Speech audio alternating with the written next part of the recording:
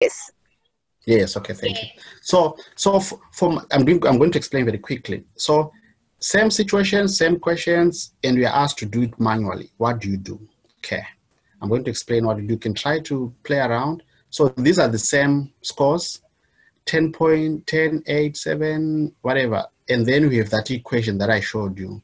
So I don't like this. For that equation, I don't like when th this bar moves on its own. So please follow the four steps, like what I said. The step number one, hypothesis stating. So you you don't just say hypothesis is. So you state now hypothesis, you state the alternative I showed you in the slides already. Step number two, you do the critical region. So you do that by calculating the degrees of freedom first. So it's n, so we have 16 plus 16 minus 2, that's 14. If you go the back of a textbook, at 14, under is it two-tailed and whatever, we are going to get 2.14. That 2.14, we're going to use it to make a decision. Uh, Ryan? Yeah, so that's how you make a decision. So this is a critical region. So any value that you're going to obtain that is more than that, we reject the null hypothesis. Any value that we get that is less than that, we fail to reject the null hypothesis. Now let's go back. So this is the equation. So this is step number three.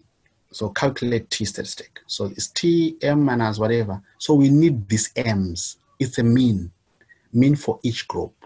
So to calculate the mean, you add the scores, 10 plus 8 plus 7 plus 9, so the answer is 72, divided by nine, 8, that's 9.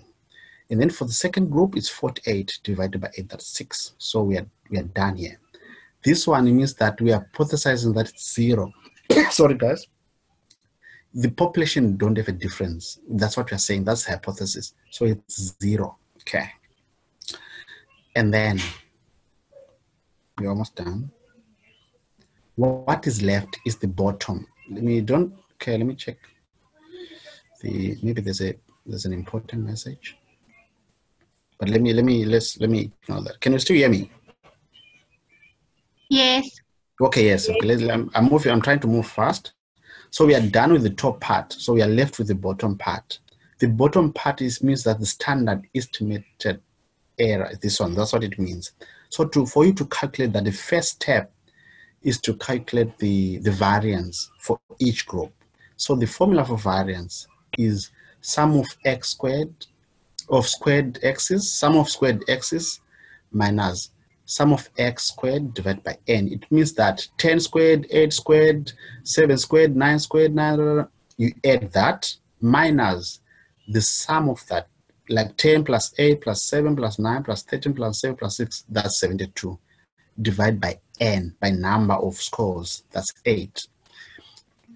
If you calculate that, uh, you're going to get an answer. I didn't put that answer.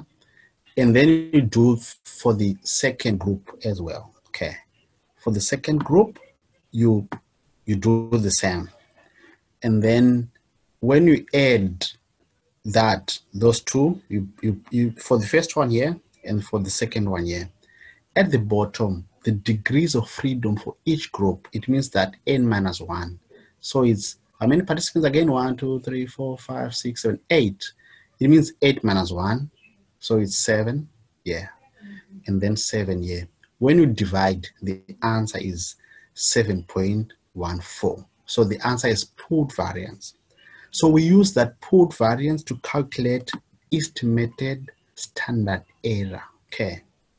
So the pooled variance is this one, 7.14, like what I wrote here, how I wrote here. And then the N, I mean participants, so divided by 8 plus the pooled variance still, and then like that you divide. So if you do that, we're going to get an answer of 1.784. Square root of that, the answer is 1.34. So that is the estimated standard error.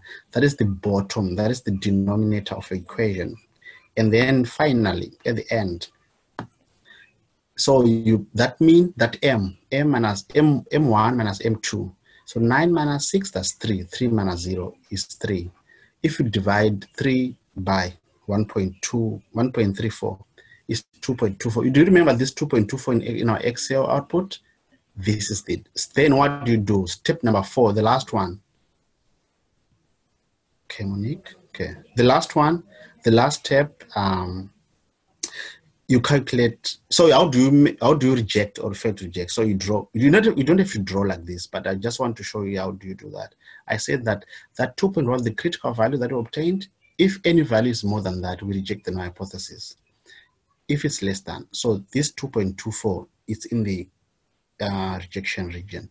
So meaning that there is a significant difference between the, the athletes whatever and the athletes whatever whatever. And then after that, you proceed to calculate the effect size. So there's a formula for effect size. Um, and then if you're asked to calculate the variance, explain to use the formula that I showed you in our Excel